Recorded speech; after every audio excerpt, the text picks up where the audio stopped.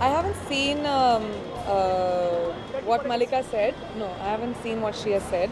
लेकिन um, madam ji बिल्कुल competition नहीं है मलिका के लिए एंड डर्टी पॉलिटिक्स के लिए बिकॉज़ uh, मेरी फ़िल्म अभी बनी भी नहीं है उसका फ़र्स्ट शॉट भी नहीं हुआ है जब बनेगी जब रिलीज़ होगी तब देखेंगे